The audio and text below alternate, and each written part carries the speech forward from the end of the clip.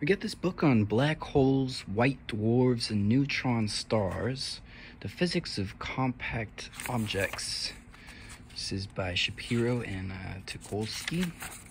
Let's go ahead and see um, what we got going on. So, hmm, some prerequisites, lectures and readings to do. Uh, and then we have star deaths, the cold equation, the state below neutron drip inverse beta decay, cold beta equilibrium, equations of state, white dwarfs, the Chandrasekhar lim limit, masses and radii, cooling of white dwarfs, surface layers, general relativity, gravitational redshift, the weak field limit, the equilibrium of fluids. Interesting. Perturbations around equilibrium, rotation of magnetic fields. This is kind of cool stuff. Um, cold equations of state above neutron drip. I'm gonna have to figure out what that all is. Nuclear forces and um, Hartree-Fock. I don't know.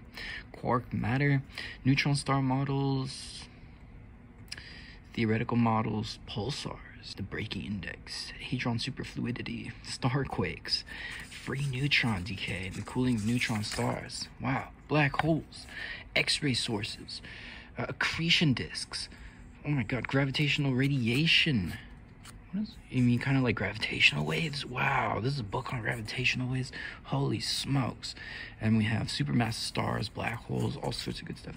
Wow, let's see what, what, what uh, we can gather from uh, some of these intro pages here. Neutron stars, white dwarfs, Earth, Jupiter, Sun. This is like black holes are here. And then this is local super. What is this? The radius? R? Density?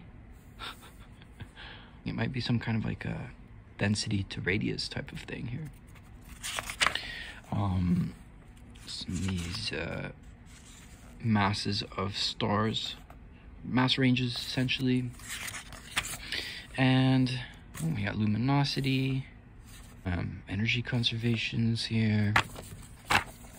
Okay. Uh, cold equation state neutron drip. What is this anyway? Potential energy, the mutual action.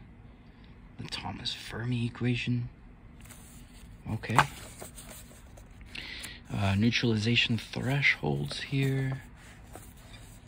Um, what is this? White dwarfs here effective potential, radial motion, maybe some kind of radial motion from one nucleus relative to another.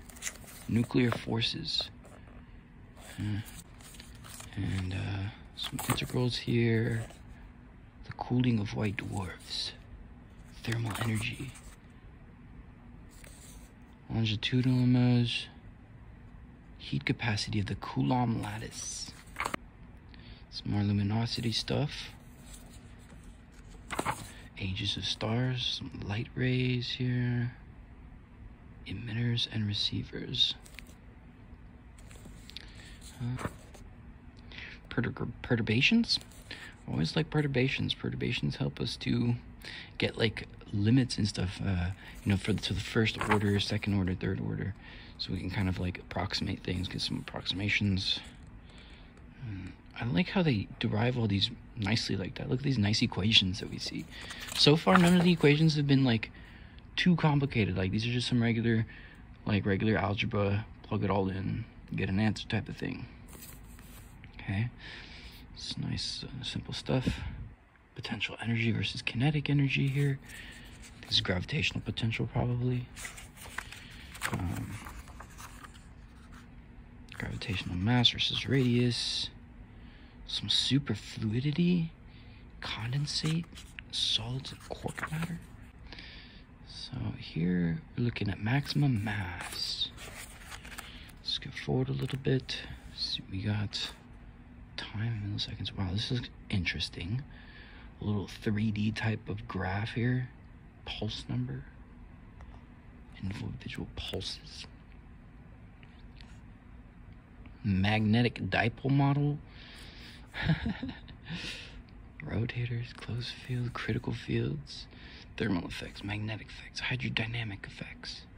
Simple little integrals, like I say, nothing too crazy here in terms of the math. It's not as hard as like string theory or, or uh, quantum mechanics here. I'm just kind of doing like derivatives and stuff, and then calculating some masses and luminosities and radii. And velocities and potentials and stuff. The Schwarzschild solution, there it is. I think these are vectors, the E vectors in um, the unit vectors in certain directions here. Black holes, uh, potential profile for non-zero rest mass. Interesting. Um, area theorem, calculating the areas of black holes and stuff, like maybe their uh, evaporation rates or whatever. Some different pulse periods. Don't know what that even means, but I guess these are pulsars that are like sending out pulses or X-ray sources, maybe. Yeah, some different equations there. It's kind of cool. Wow, the heck is this? Uh, type one X-ray bursts. Cool. Uh, accretion to black holes, getting towards the end over here. Um, disk accretion. Other disk models. Gravitational radiation. We're taking components of the um, metric tensor and stuff here doing like perturbations around them to make the gravitational waves. Oh my god, that's crazy. Relative strain produced by a gravitational wave. Wow, that is crazy. There's strain uh, produced on space time due to the gravitational waves. This is insane. Wow. Binary pulsars here. Into some other stuff. Star radiation. Alright. Supermassive stars. And some, uh, just some finishing um, mass equations over here. Um, so yeah, next we got some quarks here in the back. A couple of uh, solutions, phase spaces. Oh my god, these are the Brillouin zone integrals and stuff. That's weird. But yeah, um, this is definitely some crazy stuff. All about black holes, stars, and gravitational waves and stuff like that. Really quite interesting book. Um, check it out.